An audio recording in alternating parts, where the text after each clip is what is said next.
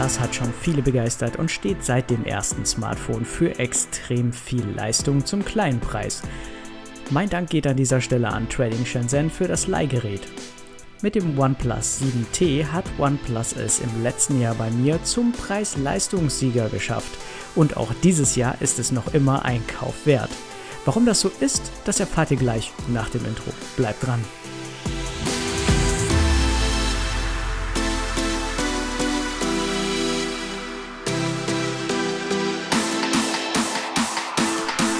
OnePlus-Fans wissen es sowieso, für alle anderen sei gesagt, OnePlus kann gut verarbeitete Geräte.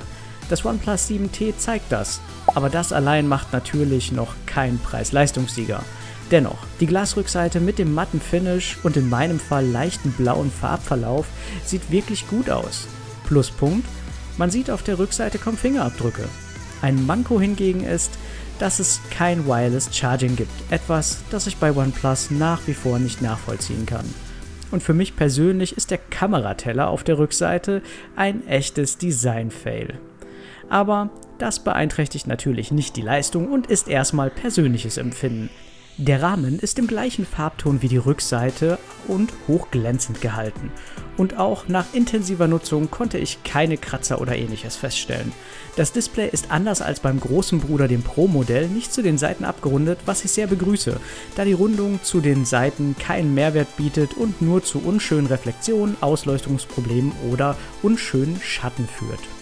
Was OnePlus kann, ist leistungstechnisch ein Ferrari bauen. Oder sollte ich sagen ein McLaren, denn es gibt auch eine McLaren Edition von diesem Gerät, die ich allerdings nicht im Test hatte. Das OnePlus 7T wurde mit dem turbogeladenen Snapdragon 855 Plus ausgestattet. Mehr Leistung kann man bei Qualcomm aktuell nicht bekommen, außer in der allerneuesten Prozessorgeneration. Dazu gibt es 8 GB RAM für schnelles und beeindruckendes Multitasking. Superschneller UFS 3.0 Speicher lässt Apps noch schneller laden, als man es bisher gewohnt war. Apps öffnen und schließen extrem schnell.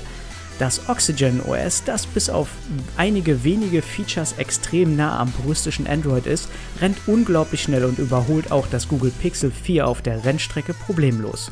Genauso schnell wie das OnePlus 7T im Alltag rennt, ist der Tank auch wieder voll.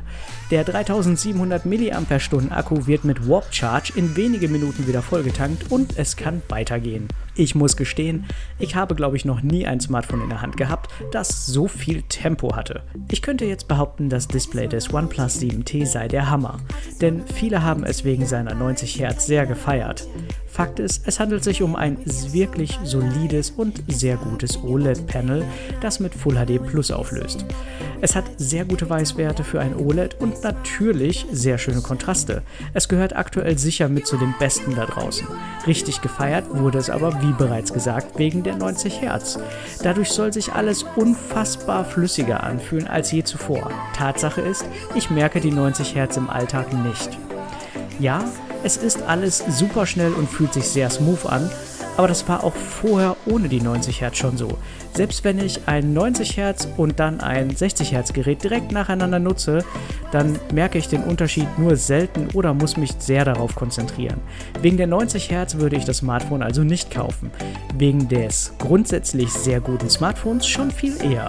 Denn das Display ist auch in heller Umgebung ausreichend hell. Etwas mehr hätte ich mir zwar noch gewünscht, da es bei direkter Sonneneinstrahlung durchaus mal etwas schwierig werden kann. Bei der Kamera gibt es das einzige, was man, wenn man wollen würde, überhaupt beim OnePlus 7T bemängeln kann. Ihr bekommt auch hier eine Triple-Ausstattung und zwar eine 48 Megapixel Hauptkamera, eine 16 Megapixel Ultra-Weitwinkellinse und eine 13 Megapixel Telelinse.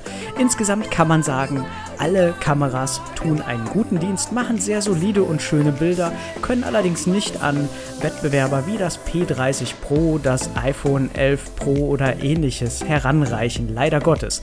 Dennoch muss man sagen, das OnePlus 7T liefert hier gute Ergebnisse und für normales mal eben schnell aus der Hosentasche herausknipsen mehr als ausreichende Bildqualität.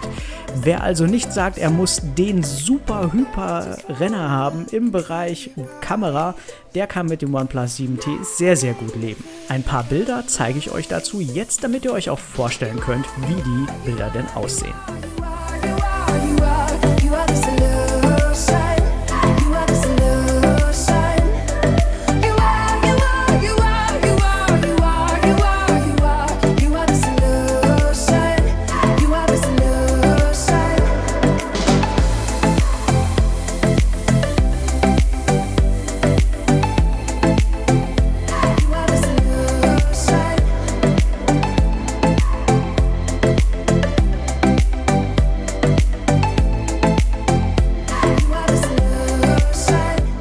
Es wird also Zeit für ein Fazit und was soll ich euch sagen? Ich habe es ja eigentlich schon eingangs gesagt in diesem Video.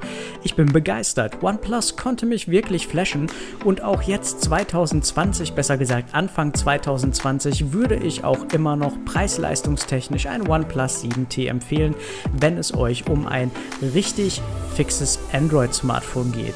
Ich hatte hier die 8 GB und 256 GB Speichervariante und die liegt bei Trading Shenzhen so bei 457 Euro über den Daumen und da muss man ganz klar sagen, für ein neues Smartphone, das so vollgepackt ist mit Technik und wen es nicht stört, dass die Kamera sehr gut, aber nicht überwältigend ist und Wireless Charging fehlt, der ist mit einem OnePlus 7T mit Sicherheit richtig gut unterwegs. Stereo-Lautsprecher sind natürlich ebenfalls an Bord, Fingerabdrucksensor auf der Front gibt es ebenfalls noch mit dabei und das Finish und die Verarbeitung sprechen für sich. Ich war wirklich begeistert und bin sehr froh, dass ich mehrere, also ich glaube zwei Monate das Glück hatte, dieses Gerät richtig durchtesten zu können und muss sagen, ähm, es hat wirklich Spaß gemacht und das OnePlus 7T gebe ich nur sehr schweren Herzens wieder ab. Wer sich also für das Gerät interessiert, kann gerne mal unten bei mir in die Videobeschreibung schauen. Abo dalassen nicht vergessen und lasst mir auch ein Like und eure Meinung zum OnePlus 7T da. Und ich wünsche euch jetzt erstmal alles Gute, euer Gigans11.